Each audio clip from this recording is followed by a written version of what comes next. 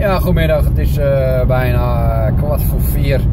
En uh, net uit uh, Nunspeet met mijn accountant gesproken en fiscalist. Ook dat is belangrijk om je, goed bedrijf, je bedrijf goed draaiende te houden. Dan ook de controle erop te houden.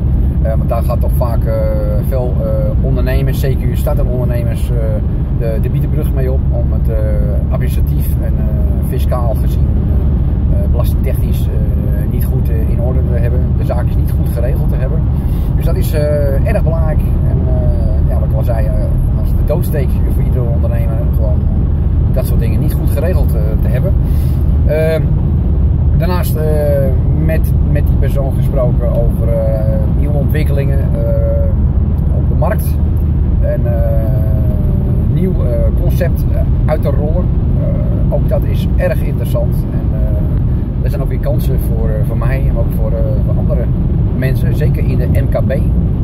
En eh, ja, dat is ook leuk om nieuwe impulsen, inspiratie op te doen en kijken waar de mogelijkheden liggen tot uitbreidingen van, ja, van omzet, maar ook vernieuwingen.